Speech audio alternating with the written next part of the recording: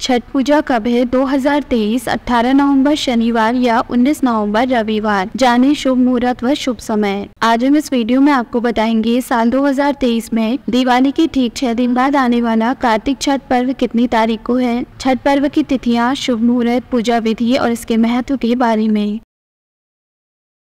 Hello friends स्वागत है आपका आपके अपने चैनल उपचार नुस्खे में। पंचांग के अनुसार छठ पर्व कार्तिक माह की शुक्ल पक्ष की चतुर्थी तिथि पर नहाय खाए से शुरू होता है पंचमी को खरना और षष्ठी को डूबते सूर्य को अर्घ और सप्तमी को उगते सूर्य को जल अर्पित कर व्रत का समापन किया जाता है। इसमें सूर्य और छठी मैया की पूजा होती है। यह पर्व चार दिन तक धूमधाम से मनाया जाता है। छत्तीस घंटे का यह व्रत संतान के लिए रखा जाता है। आइए जानते हैं साल दो हज़ार तेईस में छठ पर्व की शुभ तिथियाँ, पूजा पूजा व सूर्य को अर्घ देने का शुभ मुहूर्त, पूजा विधि और इसका महत्व क्या है? छठ पूजा शुभ मुहूर्त 2023 साल 2023 में छठ पूजा 17 नवंबर से शुरू होकर इसका समापन 20 नवंबर 2023 को होगा। छठ पूजा के दिन सूर्योदय का समय होगा, प्रातःकाल छह बजकर छियालीस मिनट। छठ पूजा के दिन सूर्यास्त का समय होगा, शाम पाँच बजकर छब्बीस मिनट। षष्ठी तिथि प्रारंभ होगी अठारह नवंबर प्रातःकाल नौ बजकर अठारह मिनट। षष्ठी तिथि समाप्त होगी उन्नीस नवंबर प्रातःकाल सात बजकर तेईस मिनट। नहाय खाए की तिथि होगी सत्रह नवंबर शुक्रवार। खरना तिथि होगी अठारह नवंबर शनिवार संध्या काल अर्घ दिया जाएगा, उन्नीस नवंबर रविवार और उगते सूर्य को अर्घ व व्रत का पारण होगा बीस नवंबर सत्रह नवंबर पहला दिन नहाय खाए। छठ पूजा की शुरुआत नहाय खाए से होती है। इस दिन व्रती लोग घर की साफ़ सफ़ाई कर, स्नान के बाद नए वस्त्र धारण करते हैं और शुद्ध व सात्विक भोजन ग्रहण करते हैं। 18 नवंबर दूसरा दिन खरना खरना छठ पूजा का दूसरा दिन होता है। इस दिन व्रती एक समय मीठा भोजन करते हैं। इस दिन गुड़ और चावल की खीर का प्रसाद मिट्टी के नए चूल्हे पर बनाकर ग्रहण किया जाता है। इस प्रसाद को खाने के बाद से ही निर्जल व्रत शुरू होता है। इस दिन नमक नहीं खाया जाता।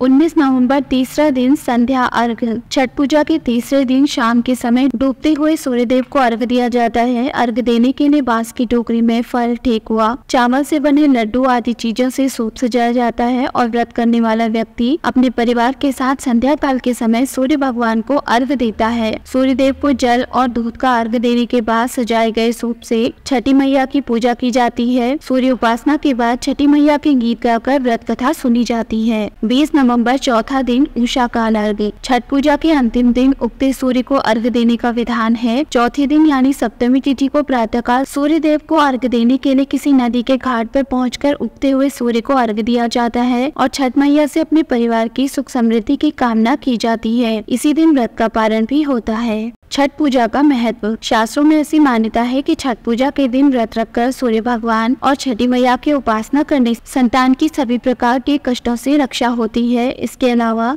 संतान की खुशहाली और तरक्की के लिए यह व्रत महत्वपूर्ण माना जाता है। फ्रेंड्स, अगर आपको हमारे द्वारा दी गई ये सभी जानकारियाँ पसंद आई हो तो आप उपचार नुस्खे चैनल को सब्सक्राइब, लाइक और शेयर करना ना भूलें।